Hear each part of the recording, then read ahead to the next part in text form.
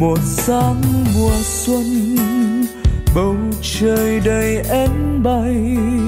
Một người từ hai ngoài quay về cố hương mang theo nỗi khát khao về một nhịp câu mang theo nỗi ước mơ về. Kính thưa tất cả quý vị khán thính giả, góc nhìn Hoàng Duy Hùng, sáng ngày 15 tháng 1 năm 2021 của tôi.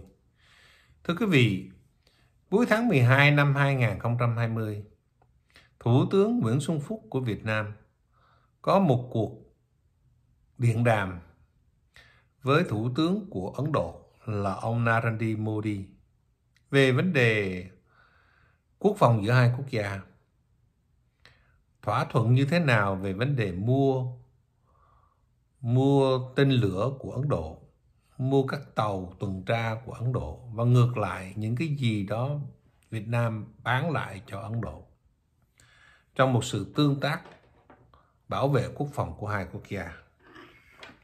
Thế rồi vào ngày 7 tháng 1 năm 2021, tờ India Times loan báo rằng là Ấn Độ chuyển giao một số tên lửa cho Việt Nam. Thì thưa quý vị, nhiều người quan tâm thời sự về Việt Nam, họ đặt thắc mắc có bao giờ việc mua tên lửa này gây khó khăn khó chịu cho nước Mỹ, cho Trung Quốc hay không? Rồi à, việc mua tên lửa này của Việt Nam sẽ đưa Việt Nam đi về đâu, vân vân à, thì à, hôm qua Bộ Ngoại giao của Việt Nam phát ngôn viên Lê Thị Thu Hằng họp báo thường xuyên đó thì có trả lời. Bà cho rằng à, là bà có nói như sau thưa quý vị. Bà nói như sau. Trong cuộc điện đàm gần đây giữa Thủ tướng Nguyễn Xuân Phúc và Thủ tướng Ấn Độ Narendra Modi, hai bên trao đổi rất nhiều vấn đề liên quan đến các biện pháp thúc đẩy quan hệ đối tác chiến lược toàn diện, cũng như vấn đề quốc tế và khu vực cùng quan tâm. Hợp tác quốc phòng giữa Việt Nam và Ấn Độ chỉ là một trong những mảng hợp tác giữa hai nước. Tức là đây là một hợp tác chiến lược toàn diện theo bà đó là một hợp tác chiến lược toàn diện để bảo vệ cái uh, an ninh trong khu vực thưa quý vị điều này là một điều rất tốt thưa quý vị cái góc nhìn của Việt Nam về vấn đề Ấn Độ là chính xác địa thế của Việt Nam là giao thoa giữa Ấn Độ Dương và Thái Bình Dương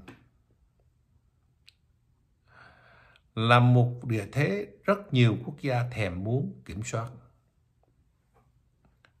Trong đó có cả Mỹ, cả Trung Quốc và nhiều quốc gia khác nữa.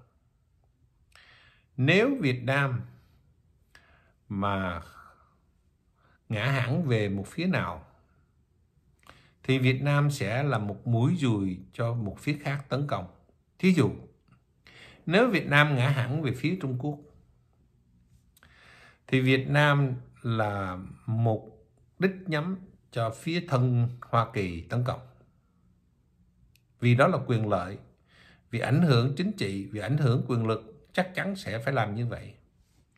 Và ngược lại nếu Việt Nam ngã hẳn về phía Mỹ thì Trung Quốc, những người phe thân Trung Quốc sẽ tấn công Việt Nam. Nên à, Việt Nam cũng không thể ngã hẳn về phía Mỹ nhưng mà Ấn Độ đó lại là một cái vị thế rất là tế nhị mà Việt Nam cần có đối tác chiến lược toàn diện.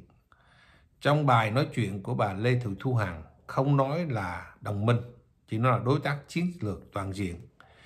Vì giữa Việt Nam và Mỹ đã đi đến cái giai đoạn là đối tác chiến lược toàn diện rồi. Nên bây giờ nâng cấp Ấn Độ lên thành đối tác chiến lược toàn diện là đúng thôi. Ấn Độ là một cường quốc thưa quý vị, đông dân đông dân đứng hàng thứ hai trên thế giới chỉ sau Trung Quốc và có thể vượt qua mặt Trung Quốc nay mai về dân số. Về đất đai cũng rất là rộng. Và Ấn Độ có những cái vết nhăn trên trán giữa Ấn Độ và Trung Quốc. Ở những cái vùng đất như là Kashmir, những cái vùng đất là ở tại biên giới giữa Ấn và Trung Quốc. Ờ, Trung Quốc đã lấn đất của Ấn Độ rất là nhiều lần. Ấn Độ và Trung Quốc có nhiều sự xung đột giữa biên giới. Nên Ấn Độ rất hiểu cái tâm trạng của Việt Nam.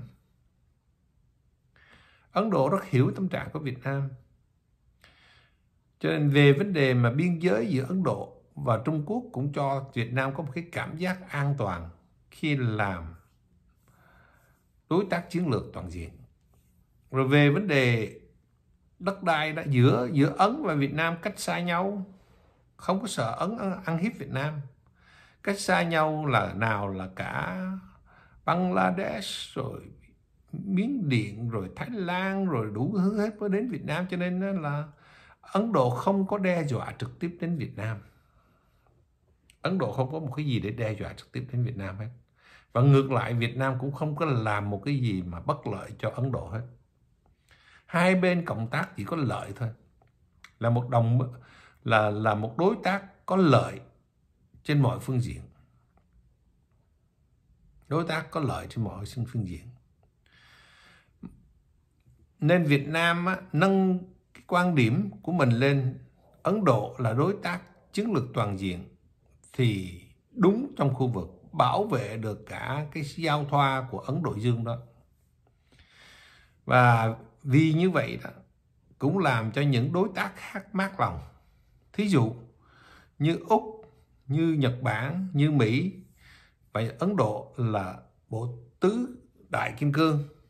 Thì bây giờ là Ấn Độ là một kim cương đó được đối tác lên toàn diện với Việt Nam là cũng nói lên một cái hình thức nào đó. Việt Nam cái cán cân nâng nhất về phía của cái liên minh này.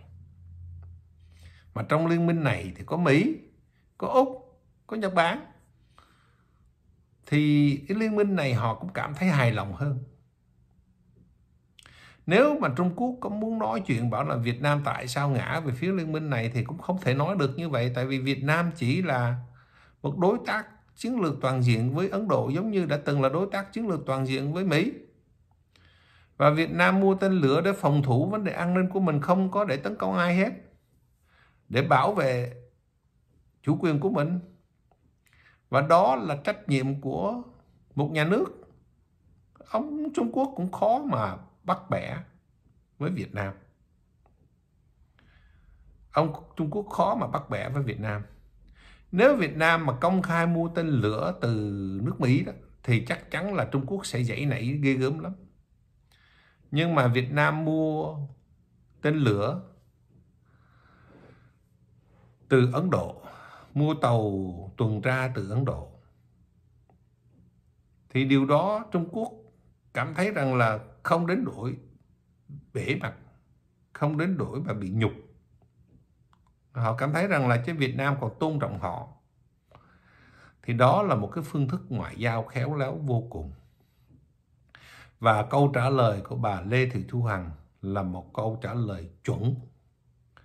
Một câu trả lời chuẩn rất xác đáng.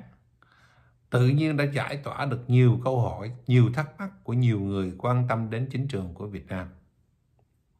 Ờ, giải tỏa được nhiều thắc mắc, nhiều câu hỏi của tất cả những ai quan tâm đến chính trường của Việt Nam. Vậy thì thưa quý vị, Việt Nam đang như kỳ vừa rồi là bỏ ra 100 triệu 100 triệu để mua những cái tàu tuần tra nữa cho thấy rằng là Việt Nam rất quan tâm đến vấn đề bảo vệ chủ quyền lãnh thổ và lãnh hải của mình mà đa số ở đây bây giờ là tên lửa với tàu tuần tra, thì quý vị đã thấy rằng là ám chỉ ở Biển Đông rất là nặng, quan ngại đến vấn đề tình hình Biển Đông mà điều đó là đúng thôi.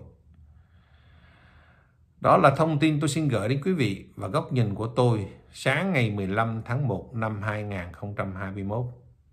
Và xin hẹn gặp quý vị trong chương trình sau